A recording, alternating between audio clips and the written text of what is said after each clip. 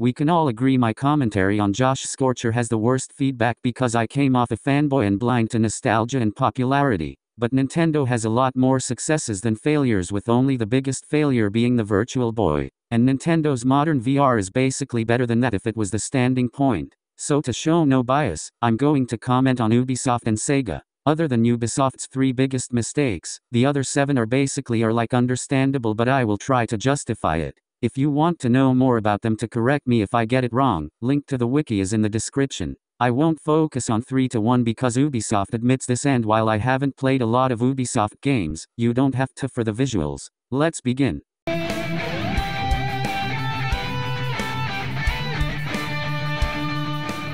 Back in the day, Rayman was to Ubisoft what Mario and Sonic are to Nintendo and Sega. But then, everything changed when the Rabbids attacked.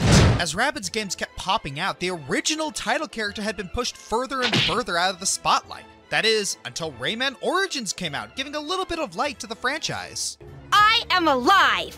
Uh, I can see that. Then Rayman Legends was announced, which seemed to be more of the same greatness and a promising launch title for the then upcoming Wii U. It was heavily featured in demos of the console, and for good reason. The levels they featured really showed off the capabilities of the Wii U and got people really hyped. And then the game got delayed. Now, that in and of itself is not a fail. After all, a delayed game is eventually good, but a rushed game is forever bad. Mostly, anyways. No, why this is a fail is the reason it got delayed because Ubisoft wanted to port it to other consoles and release them all at the same time. So, why didn't you just release it now and then port it later?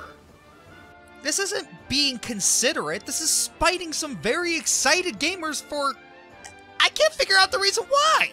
Now, don't get me wrong, Rayman Legends was still great, and that's why it's so low on the list, but Ubisoft's bizarre decision really hurt the Wii U, both at launch and in the long term. But the Wii U's failure is a story for another time. I'll get to you, I'll get to you. Chill. I will admit that sounds like a weird idea, but try imagining this. You wanted to make a surprise about this, so you delay it to the point where you get to release it on multiple consoles. When you announce it, the reaction on customers' faces are like wow. Granted, it might not have worked, but it was worth the try.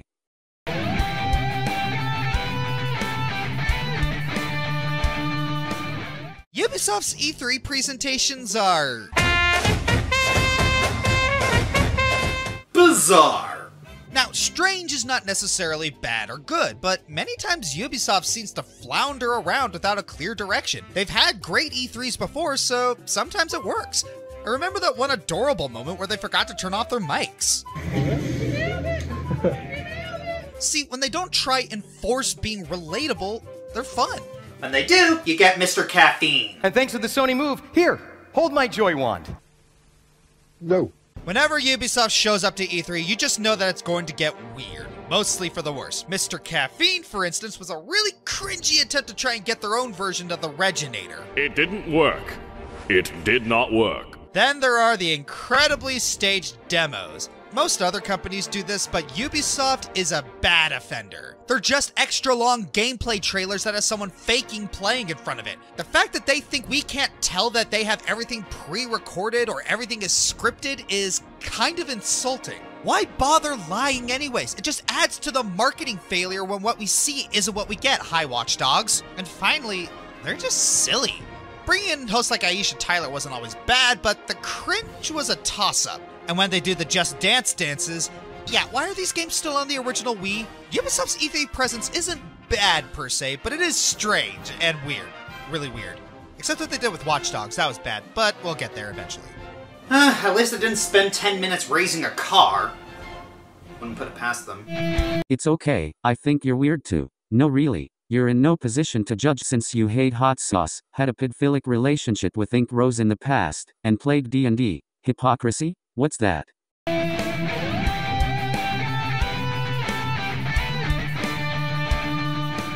How do you f up Tetris? Well, let's start with the advertisement. We have a lazy jerk and an overworked office lady somehow get into a weird form of Tetris involving their office supplies, culminating in wholesale murder of their boss. Fun for the whole family. As for Tetris Ultimate itself, well, Ubisoft was basically trying to reinvent the wheel when the wheel worked just as well as it always had. Tetris is one of the most iconic and simple games of all time. You fit different shaped blocks into each other and then make a line across the screen and bingo bango Bob's your uncle. And somehow, Ubisoft's new wheel rolled like a brick. Not only did Ubisoft throw in a bunch of unneeded additions to the classic Tetris, with achievements of all things, but the ship product was a glitchy mess. The game had performance lag up the wazoo, which is ridiculous when the game worked better on tech from the 80s. Things were apparently so bad that Tetris Ultimate was withdrawn from the Steam store. That is how you know you done fucked it up. Just how? How do you screw up Tetris? You had one job. One job. Yeah, I think the only reason you wanted to put this lower is because you think it's overrated. And reinventing a wheel is a bad thing despite the fact it would have made it better for you. There is no pleasing you, is there? Glitches, okay, but have you played Tetris 99? I don't know whether or not it was before or after he made this, so feel free to leave comments about this. I'll end this here since one I completely agree with and two involve games I don't play. I'm going to continue to next gaming company failures list. Hand if you think the Google Stadia will succeed. Shut up! You know better!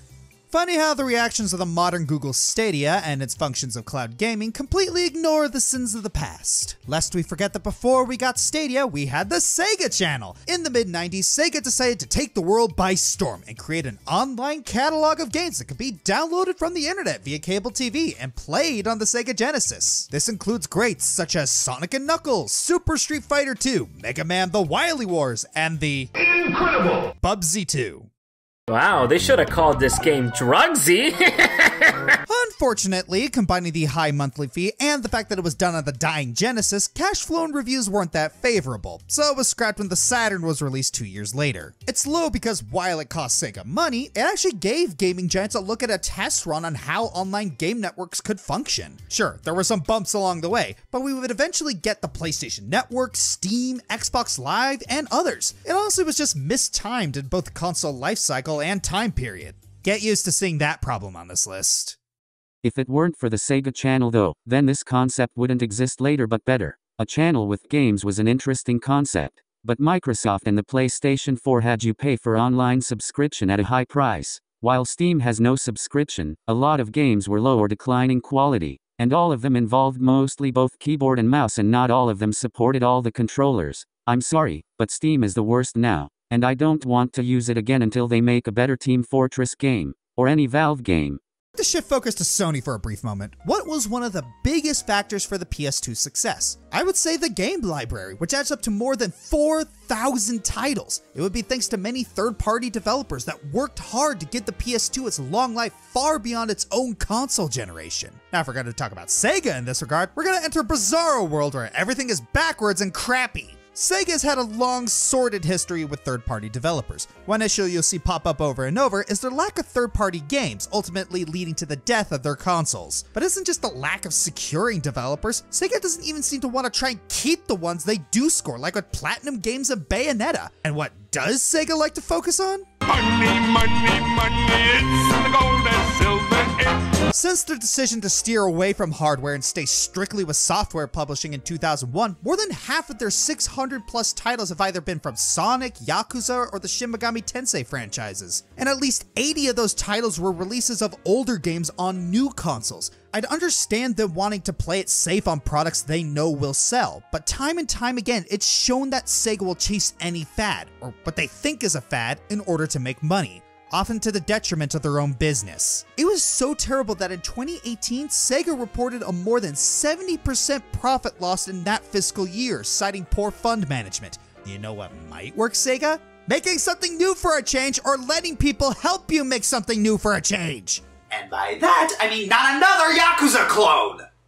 If it was just about the money, they would put more effort on Sega quality games, and not just stick with what they know. In fact, are we going to forget Super Monkey Ball? That game that came out after they stopped making consoles. I feel you could have brought it up so you didn't come off as ignorant. I've noticed the severe lack of Sonic up until now. Get comfy! I've been avoiding this until now because I wanted to save anything Sonic related for one big entry. For the record, I won't be discussing the obvious. Uh, meow?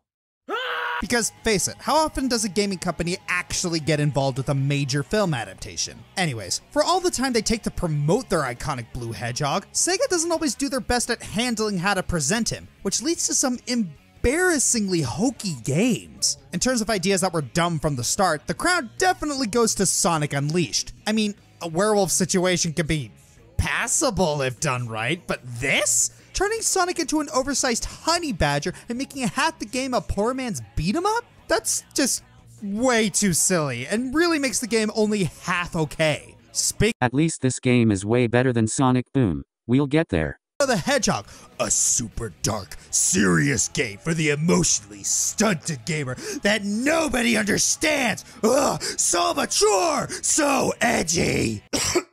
So laughably pseudo dark, annoying, repetitive, and confusing thanks to the branching paths. Seriously, they gave Shadow a motorcycle and a machine gun. Because that's a little redundant. Can you say redundant? Oh, It's not like the beginning and middle had anything new to bring up but one that got ignored. these two games actually had a unique concept, both being recreations of classic works of literature. Um, no, neither of these games were fun. All they have for it is a good concept. The Secret Rings had terrible controls while Sonic and the Black Knight had a terrible execution of the concept. Why is she encouraging Silver to kill Sonic? They're supposed to know each other. Did Sonic Rush just not happen? Anyways. It could be Rush Blaze before Rush Blaze. Just saying. Picturing a ship showcasing epic bestiality. Picturing a ship showcasing epic bestiality. I'm picturing a ship showcasing epic bestiality. I'm picturing a ship showcasing epic bestiality. It's yiffing, not bestiality. Sonic is not a real hedgehog. He's anthro. I think I've done enough for now. Final thoughts. While I have no insight to most of these companies, I can say there's two more that don't help Josh out. I'm going to do a commentary on the Luxter next, so stay tuned. Like, comment, share the video, subscribe, and click on the bell to get notified for more of my work. Also, be sure to follow me on Twitter, Tumblr, and Discord for Q&A, polls, and announcements. Link to those in the description below.